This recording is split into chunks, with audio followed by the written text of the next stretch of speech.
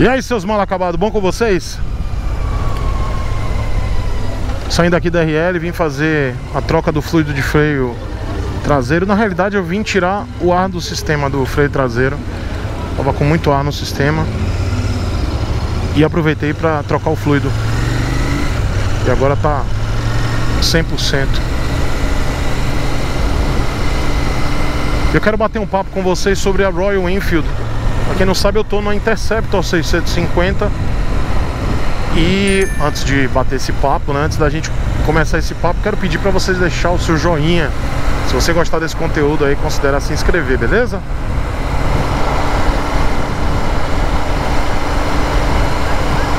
Eu tava fazendo a reflexão recentemente numa live e eu acabei comprovando isso logo após esse bate-papo que eu tive na live e eu convido todo mundo aí a assistir as minhas lives aqui no canal de segunda a sexta, a partir das 22 horas. E eu falei com a galera que a Royal Enfield aqui no Brasil é uma marca de motos com a proposta de acessibilidade, né? De acordo com o acabamento das motos e a potência, né? Potência, torque. São motos, claro, no nicho de clássico moderno, tem a moto Custom, Cruiser, né, que é a Meteor, Meteor 350, futuramente a Super Meteor. Mas são motos com preços bastante acessíveis. Claro, gente, eu não estou falando que é barato, eu não estou falando que é um preço popular, eu estou falando que é acessível. Uma pessoa de classe média consegue comprar uma Meteor 350, uma Classic, dependendo até pelo preço de uma Crosser 150, até mesmo o preço de uma CG. Isso é um fato. Então, são motos com preços acessíveis. Himalayan 411, né? 24 cavalos e meio, uma moto trail, moto com valor de seguro baixo, né? Baixo índice de roubo. Uma moto aí que você compra na faixa dos 23, 24 mil reais. Então são motos com preço realmente competitivo aqui no mercado. Uma Interceptor dessa você compra por menos de 30 mil reais. E aí recomendo, se você quer comprar uma moto dessa ou qualquer moto da Royal, vai lá na Royal Enfield Campinas, que é o meu patrocinador, e também aproveita aí você que é da região de Piracicaba, vai lá no Shopping Piracicaba e compra a sua Royal na Royal Enfield Piracicaba.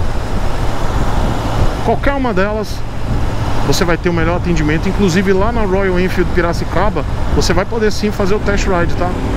há a possibilidade lá na Royal de Piracicaba de você fazer test ride com todas as motos da Royal. E outra vantagem legal da Royal aqui no Brasil é que você consegue fazer o test ride em todos os modelos. Você não vai ter nenhum tipo de restrição no teste das motos, o que você não consegue em algumas marcas. Mas a reflexão que eu quero fazer com vocês é que aqui no Brasil a Royal ela vem com apelo é, de motos mais acessíveis, né? Não digo em relação à manutenção, a manutenção das motos da Royal não é tão barato quanto Honda e Yamaha, mas ainda assim compensa pelo preço de aquisição das motos. E a Royal tem feito aí cada vez mais um trabalho de fazer as suas motos terem um bom custo-benefício, apresentando uma tabela com preço fixo até os 30 mil quilômetros né, na garantia. Você fazendo toda a manutenção da moto até 30 mil quilômetros no concessionário Royal Enfield, você tem noção de quanto você vai pagar. Por falar em Royal, aí ó, uma Meteor 350 na frente. E você vai ter uma noção de quanto você vai pagar até os 30 mil quilômetros na revisão. Isso é muito bom porque dá para você planejar desde do ato da compra ou até mesmo antes. Você consegue fazer um planejamento de das manutenções. E aí eu quero fazer um paralelo para você que acha que não, a Royal é muito cara, inacessível, é um preço absurdo. Eu já dei um exemplo aqui que uma CG 150, 160, motor de plástico, você acha em alguns lugares aí a mais de 20 mil reais. Sendo que você compra aí uma Meteor 350, Classic 350 na faixa aí dos 22, 23 mil reais, dependendo do modelo. Talvez até menos, tá? Dependendo do modelo e da promoção. E aí eu quero fazer um comparativo que eu tive a comprovação. Eu já sabia disso, mas eu quero trazer fatos. Da Royal Enfield Argentina. Por mais que vocês pensem assim, poxa, mas a Argentina é um país quebrado, é um país que tem muitos problemas. Ah, beleza, pessoal, mas é, Essa é a diferença de quando uma marca ela vem para o país por uma sucursal, ou seja, a própria marca que abre uma rede de concessionárias no Brasil. A marca ela tem uma uma sucursal aqui no Brasil, é a Royal Enfield Brasil. No caso da Argentina, é uma empresa que representa a Royal Enfield. Assim como, por exemplo, a J Toledo representa a Suzuki aqui no Brasil. O que, que acontece? O preço das motos Suzuki é um preço muito diferente, muito mais alto do que deveria se a própria Suzuki estivesse aqui. Por quê? Porque tem uma empresa que representa. Então essa empresa ela quer tirar o máximo do lucro. É a mesma coisa com a Honda lá na Colômbia. Lá na Colômbia, como muitos falam aí, tem, tem gente que fica falando, ah, porque a Honda Colômbia, a Honda Colômbia. A Honda Colômbia não produz nada, eles simplesmente importam motos, inclusive importam motos daqui do Brasil. A Honda Colômbia é uma empresa que importa, que representa a Honda, né? Na Colômbia. E aí vem a Royal Enfield Argentina, que não é a Royal Enfield mesmo Argentina, mas sim uma empresa que representa a Royal Enfield lá na Argentina. Então eles têm sim uma linha de montagem, assim como a JTZ tem aqui uma linha de montagem da Hauju, futuramente das Ontes, tem da Kinko, né? E a J Toledo da Suzuki. É a mesma coisa essa empresa lá na Argentina que representa a Royal, faz a montagem das motos da Royal, mas não é a Royal India né? Não é a própria Royal lá na Argentina. O que que, isso acontece? que que acontece com isso? Os preços da Royal lá na Argentina são absurdamente altos. Royal Enfield lá na Argentina é moto para rico, pessoal. Eu tiro isso e aí a comprovação vem do meu irmão Ricardo, do canal Papo na Moto, que esteve agora no final, até o final de janeiro, na realidade até o meio de fevereiro, né? Ele esteve lá na Argentina, foi para Argentina, foi para Uruguai, e ele esteve lá em Buenos Aires e ele deu de cara com a loja da Royal Enfield fechada. E o que que acontece?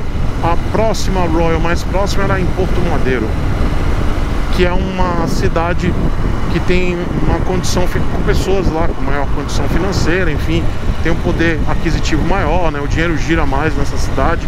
E lá tem, aí sim, tem uma Royal Enfield, inclusive ele foi lá, foi super bem recebido, fez test ride na Scrum 411. Vão lá no canal do Rick, assistam, canal Papo na Moto, que vocês vão ver todo o conteúdo que ele fez lá na Royal Enfield da Argentina.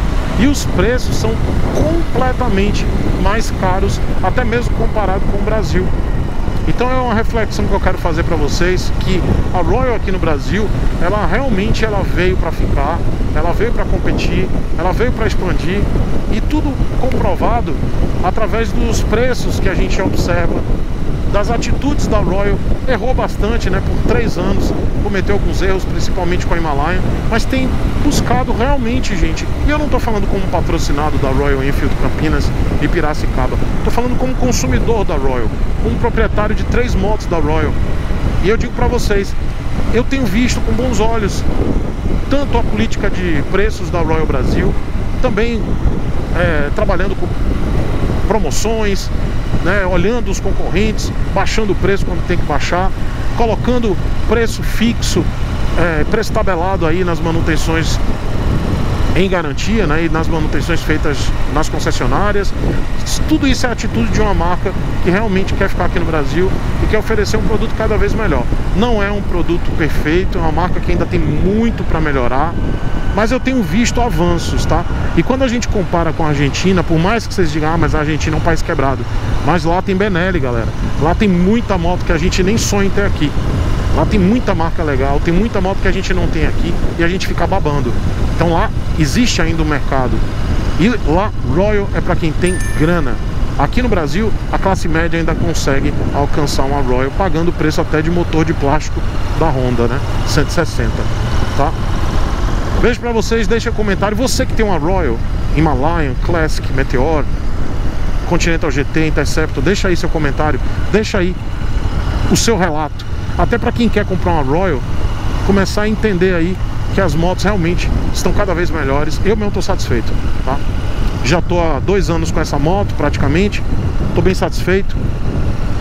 e vamos nessa, tá? Qualquer dúvida deixa aí, deixa os seus comentários e você que tem uma Royal, deixa aí seu relato.